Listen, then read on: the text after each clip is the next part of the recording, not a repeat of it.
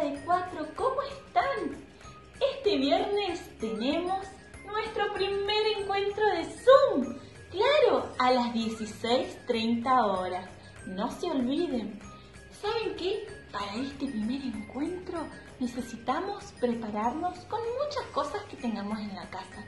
Pueden ser algún disfraz o miren lo que tengo acá.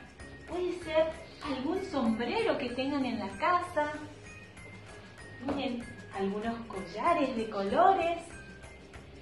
También saben que vamos a necesitar un hermoso pañuelo de colores grande o pequeño. O quizás alguna tela, alguna sábana para poder divertirnos y jugar.